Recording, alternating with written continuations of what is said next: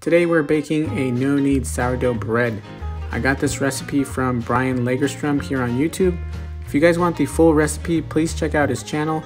And to be honest, I didn't even know that sourdough bread could be done without kneading. So this was a experiment for me and something new that I had tried. Uh, I do hope that you guys stay till the end to see the results that I got. And as always, I appreciate your time.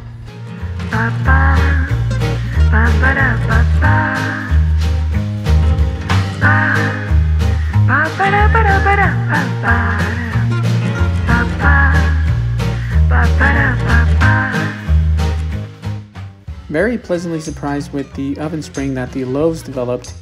And it's always a mystery when you open up the Dutch ovens to see what you're going to get. And I'm happy that we achieved a good ear on both of these and the oven spring is phenomenal. So I'm very happy with the recipe so far. All we have to do is see the crumb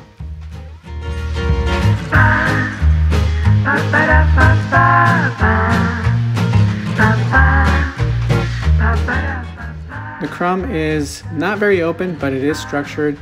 And to be honest I think this recipe works really well. So if you guys want to give it a try I would highly recommend it